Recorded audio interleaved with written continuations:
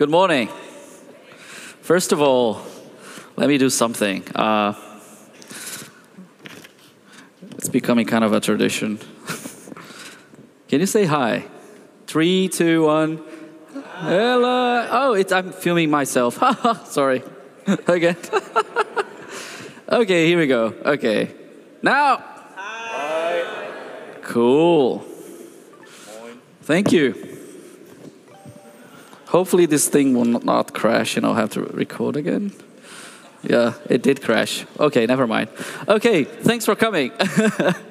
uh, I really like to talk about this because uh, it touches like some of the very fundamental building blocks of the framework. And as a UI engineer, I think if you're doing any UI work, I think it's really important to have a very good understanding of like how the, the basic things of the framework works. Uh, so before I start, just like, um, yeah, I'm Lucas, I'm Brazilian, and I've been in Europe for uh, about eight years, and I've been doing UI for a bit longer than that, actually, about like 10 years.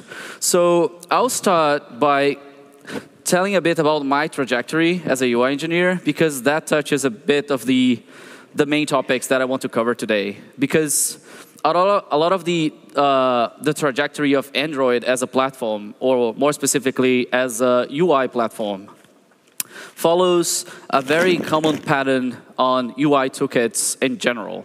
So in many ways, this talk will cover the specifics of Android, but a lot of these techniques and a lot of the way layout works on Android is applicable to uh, pretty much any toolkit you can think of, uh, any modern toolkit uh, anyway. Um, so, uh, do you know what this is? Yeah? Has anyone used this? Is anyone like here like old enough? To cool, one, okay. So this is GNOME 1.4. That's the first thing I worked on as an open source contributor back in the day, 2001 or something. And this is like very like back then we were trying to attack the Windows market uh, share and try to provide an open uh, alternative. Like, and I've been like in the GNOME project since kind of the early days until this GNOME 2, which was much cooler actually. Uh, and one cool thing about like in terms of the UI toolkit story here is uh, GTK, the kind of the, the, UI toolkit that is the basis for everything you do on GNOME, uh, was created as an alternative to Motif. Has anyone used Motif here? Ooh, cool. Like, uh, okay. So, um, and GTK was something that arose from the GIMP project, the graphical tool, like if you use Linux, you probably know about this. And I think it's cross-platform, but uh, mostly used on Linux. Uh, and GTK was evolving as the desktop uh, platform evolved with it. So GTK 2 was much uh, more advanced than GTK 1 in many ways. It was mostly an API cleanup, but it still like was pretty uh, a, a, big step forward uh, in relation to the, to the version 1. Then I started doing more GTK stuff at Nokia. And that was in the very beginnings of like the more modern devices that we know today. Has any, does anyone know what this is? Okay, cool. Uh, so, so, this is a Maemo-based uh, device. It was like this Linux-based platform that Nokia was trying to do uh, to push for like back in 2006 or so. Uh, so that was my first like uh, experience with like mobile development and but it was still very desktop like in many ways. Um, and this was this was really fun. This is like um, golden ages of Nokia, doing a lot of uh, a lot of open source Linux. People got hired, so it was like a dream job for someone who working on on Linux back back then. Uh, then I, I started working on something called um, the webbook. It's this thing. So it was basically still a, uh, a bunch of like GNOME hackers who got together to basically develop a new OS. And this was my first experience with like a very motion uh, driven kind of UI. And and for those who track like GNOME stuff, like Litl was the creator of like the JS bindings for that is like what runs GNOME 3 nowadays. So that was the first GJS thing back back then. So it's pretty fun. Then I got into Android development, and that's when like started doing Android stuff uh, full time. So I've, I assume you maybe you've heard of like the, this little app uh, called Pattrn. is a little wallpaper app that got like got featured quite a few times uh, in the App Store, and and then Firefox for Android, and now Facebook, which is mysterious because I can't disclose what I'm working on yet, but hopefully soon. Um, cool. So throughout all these phases. Um, one thing that I realized, and going like through like different like APIs and platforms and frameworks, like the thing that is like became very clear to me is like if you assume that you know how the toolkit works, uh, you'll probably be shooting uh, yourself in the foot like all the time because yeah, you're probably assuming wrong things most of the time. And we're lucky that like Android is an open source platform and we can see how things work. And I think this is extremely valuable as an UI engineer because you can track how what actually is happening behind the scenes when you do fundamental things like request layout calls and, su and such. So uh, biggest, the biggest reason why I, I do this talk is I think we need to be more deliberate about our UI code uh, to get the most out of the platform. Uh, and that's what I'll be covering today. So in many ways, this is a talk about the basics of Android. But instead of talking about the API from a user perspective, a user of the platform perspective, I'll be doing something from inside out. So I'll be taking the basics and talking about how it works from under the hood. So the architecture of UI toolkits uh, pretty much any UI toolkit you can think of, like uh, from desktop to mobile. I think the the biggest change that happened like in the last 10 years with UI toolkits is that motion became a very central piece of like the architecture and the interactions moved from mouse and keyboard to touch. Uh, but other than that, the architecture is pretty much the same. You have all, you always have something of a layout notion that define size and position of everything. You have a notion of rendering, you paint things on screen. And you have a notion of like interacting with these elements and changing their state through touch or key events and, and such. So the old school, and that's my framing, by the way. There's nothing. This is nothing academic. It's just the way I, I frame the history of UI toolkits uh, in general. Uh, when you talk about the old school stuff, the GTK ones and twos, uh, and the motifs and the uh, TCL uh, like the, the very old school stuff, uh, it was basically this notion that you nest boxes in boxes and you pretty much focus a lot on layout and the rudimentary, in, with a very rudimentary notion of motion. Uh, so if you look at the how these like uh, UI toolkits got implemented, they were all assuming a static layout for the most part. And if there was a motion, it's kind of like a bonus, and it was super hacky and clunky. Um, so, and funny enough, like Android eh, is actually kind of like behind the curve in terms of what is considered a modern uh, it, it was behind the curve uh, when it comes to like modern toolkit architecture into Jelly Bean. So Project Butter, which sounded like a really cool, like bleeding edge kind of thing, was something that like many toolkits had for years. Uh, so the notion that like like the whole notion of like synchronizing everything uh, with refresh rate was like not new at all. Uh, so Jelly Bean was kind of like Android catching up with like what is considered a modern UI toolkit in many ways. So if you look at like how Jelly Bean or pre-Jelly Bean Android was implemented, you had this notion of like it was basically a handler with a looper, and you would just post stuff whenever you want to relay out the UI. And this is why you get like you got a lot of like inconsistent behavior with animations, and the animations the animation APIs until uh, Honeycomb were very rudimentary. So Android caught up like I think it's pretty much a modern toolkit uh, nowadays, but it took longer than like most of the players in the in the same space.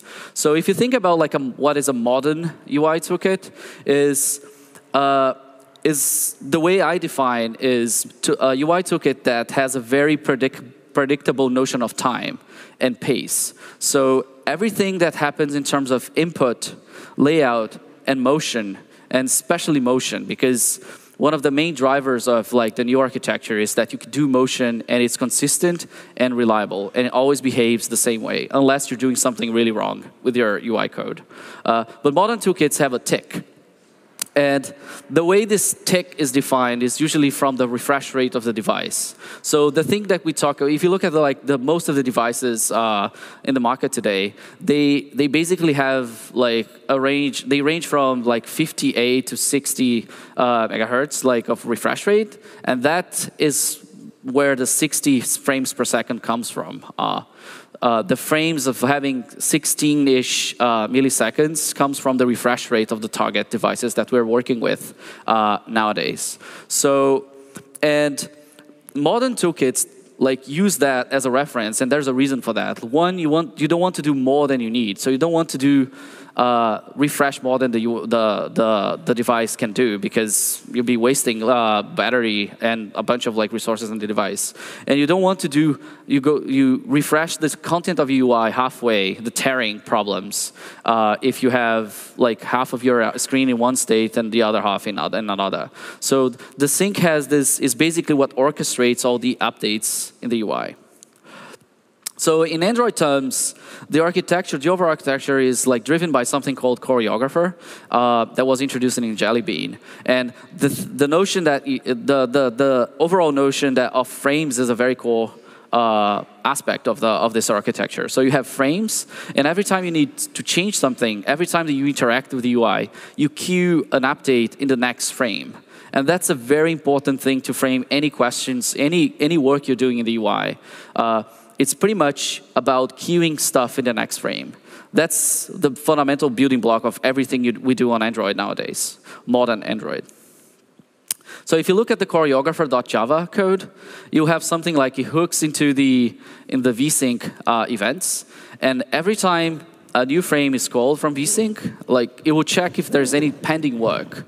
And there's one important aspect here in terms of the order of these calls, because this is a very important aspect in terms of framing questions about UI2. You always handle input first because that will probably invalidate and request layout in your state. Then you handle animations, will, which again will probably call uh, uh, triggering validations in your uh, view hierarchy. And then you do the traversal, which will probably uh, mean in practice redrawing or in, uh, in case of layout changes, uh, a layout traversal. So Another core component of Android is view root impl, which is, uh, not a public API, but is the thing that sits at the top of your view hierarchy. So your, your root view or the root view of the activity is, is not actually the root of your view hierarchy. View root impl is the thing that sits on the top of everything, and it will it understands how to update like the UI from top down and bottom up in in some ways. Uh, especially for, for touch event handling. And that's the piece of the platform that interacts with the Surface Flinger to compose the new state uh, of your app with the state of the system UI, like which means status bar, navigation bar, and so forth. Uh, and the notion of of uh, of views in in in Android is driven mostly from uh, this root, view root impl.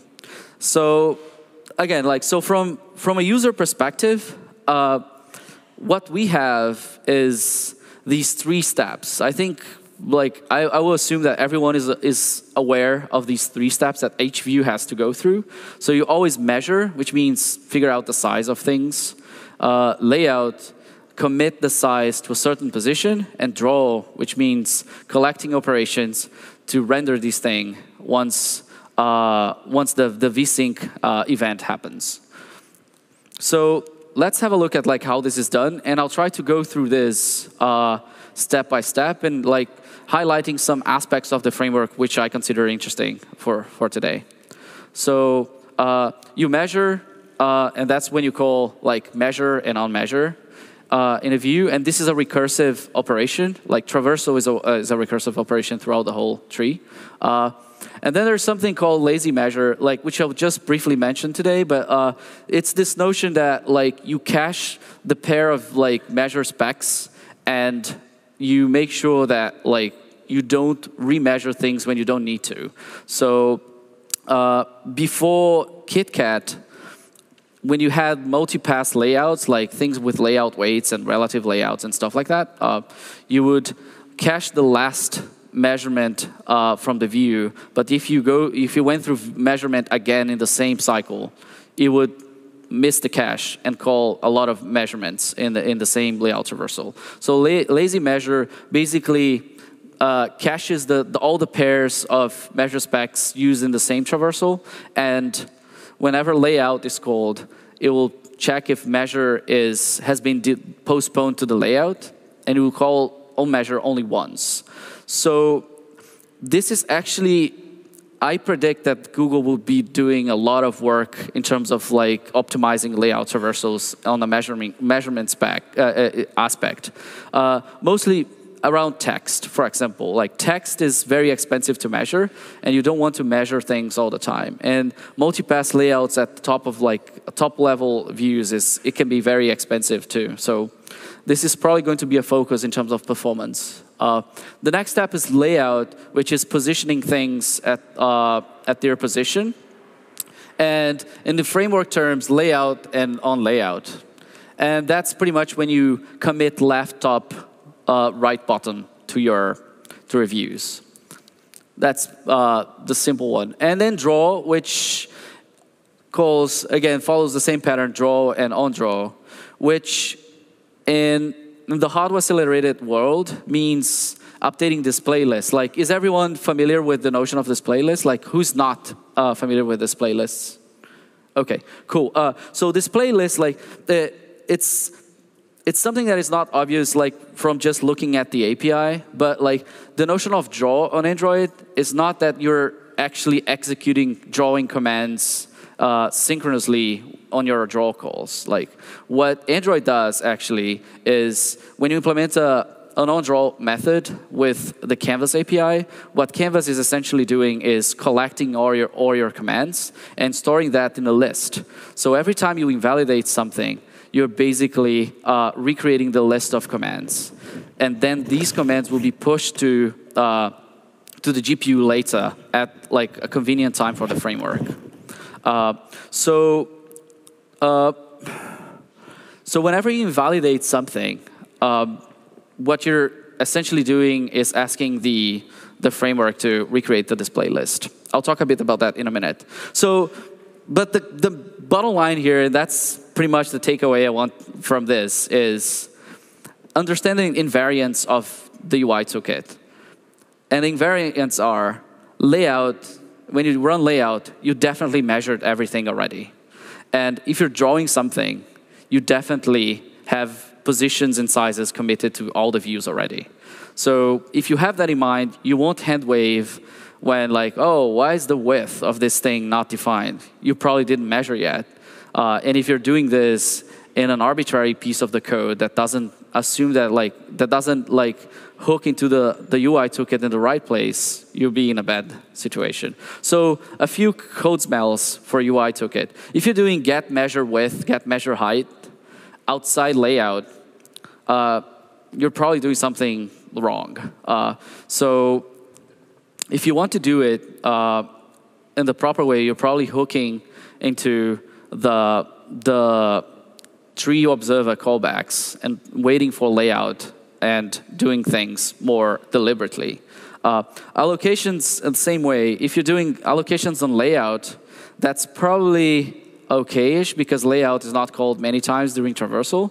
If you're doing uh, allocations in on measure, you should probably try to avoid it as much as possible. And on draw, like just don't. Like never allocate anything on on draw because on draw is called in each frame in an animation, for example. So you'll be allocating a lot of objects.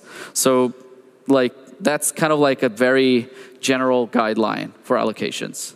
So uh, things get more interesting when you change things. So I, I, just described, okay, you have something on screen. So what happens when you want to change things. So the first notion is that you're probably familiar with is like the notion of request layout, right? Uh, so uh, what does request layout actually do? Uh, is to bubble up your layout request up to the root, the root impl, like the purple box there.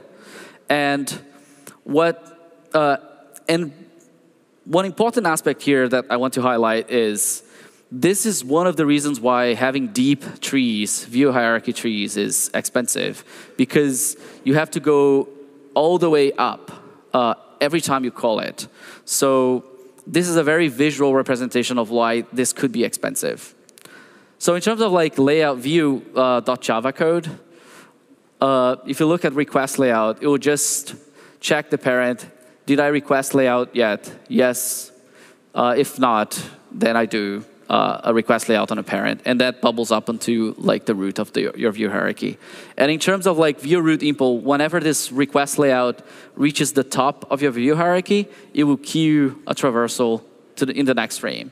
So, and that means that if you call request layout like a hundred times in the same frame, you will not do a hundred layout traversals. You just do one in the next frame. But you will do bubbling up things up to the root in each call. So you should avoid uh, calling it too often. Invalidation is when you want to redraw something. And as I mentioned, in the display list based world, this means recreate my display list. Um, and in complex views, and this is why the recommendation is to usually use uh, hardware layers for, for complex views, is because you want to avoid recreating display lists in each frame. So in terms of like code, invalidation adds a flag to invalidate the view, and then when the draw call uh, is triggered in the next frame, you be basically checking that and recreating the display list. And one important thing here is uh, invalidation uh, is not something that invalidates the path up to the root. It just invalidates the thing that you call invalidate on. So it's not like request layout that invalidates the path in the tree up to the root. Okay, so, and last but not least, when you're doing animations, the post on animation and your object animators, what they're essentially doing is queuing a callback in the next frame. So just as a reminder, it's this thing here. So it's the callback animation. And like another piece of like information that is very important when you're framing your UI questions is, so if I'm running an animation, I know that I handled input already. So if you have something that deals with animations and input, the order is guaranteed. This is an invariant of the framework.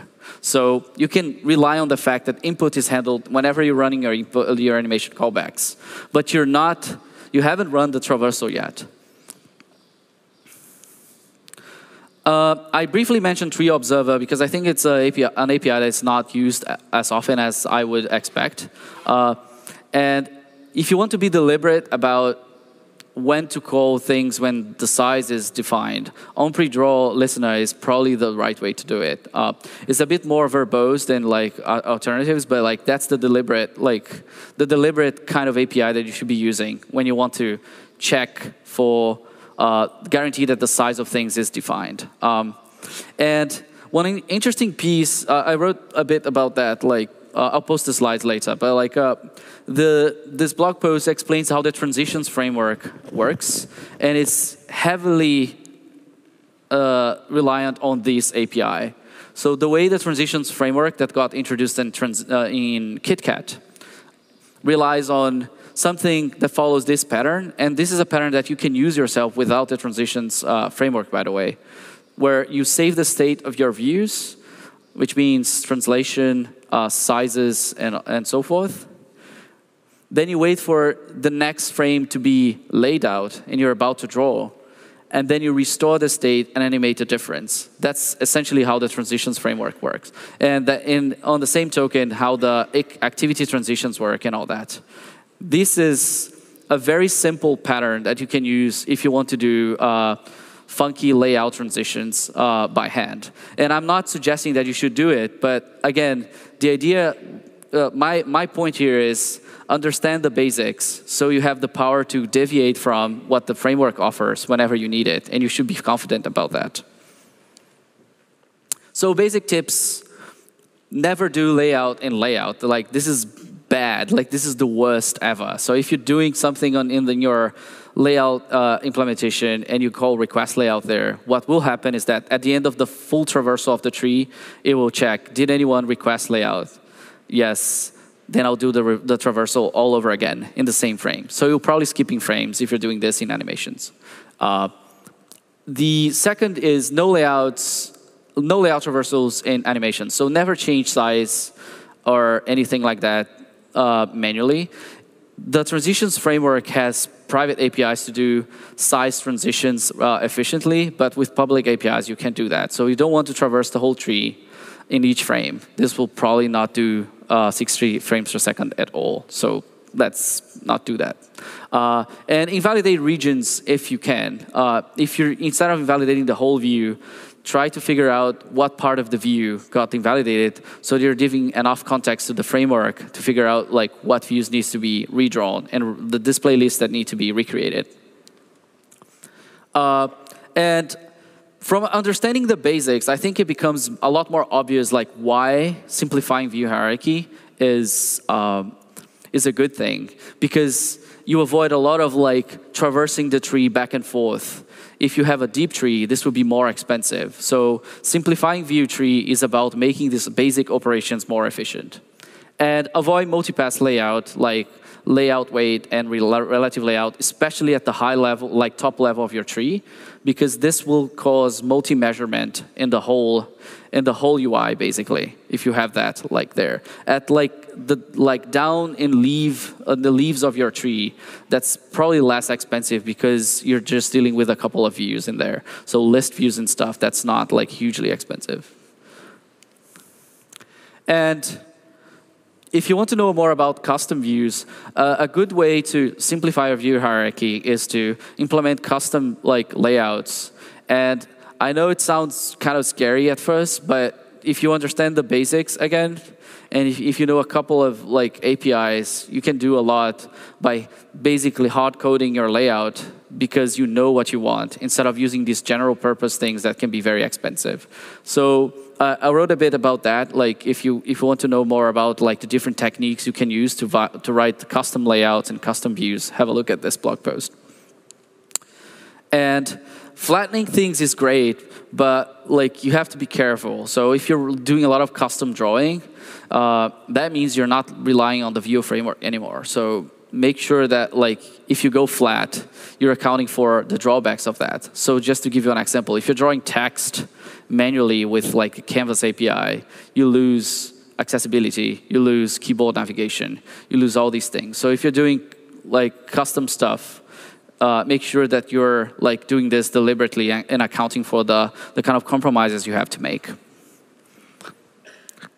Cool. Um, we're doing some really deep stuff with layout at Facebook uh, in a couple of projects in London. So if you are interested in this kind of like crazy stuff, uh, that should be a pretty fun place to be.